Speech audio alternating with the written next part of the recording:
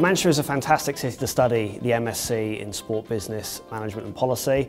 Uh, Manchester itself is of course synonymous uh, with global sporting brands such as Manchester United and Manchester City, the National Aquatic Centre and also the National Cycling Centre.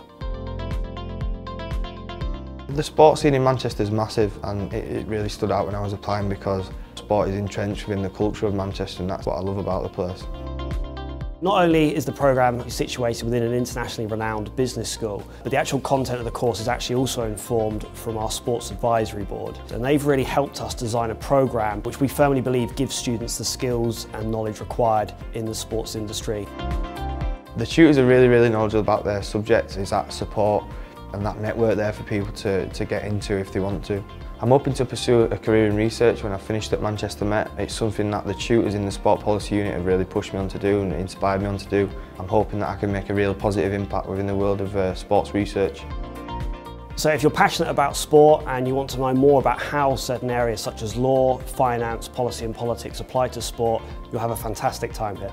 I'd definitely recommend the course. I'd recommend Manchester. I'd recommend Manchester Met. I'd get here and definitely study this course.